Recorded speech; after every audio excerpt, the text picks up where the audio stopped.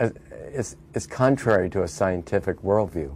So, as a scientist, uh, I, I, want to explain things in terms of known mechanisms and uh, in, in reductionistic propositions. Um, um, but I'm more than a scientist. you know, I'm, uh, I'm a human organism trying to understand and contemplate my own existence and the implications of that.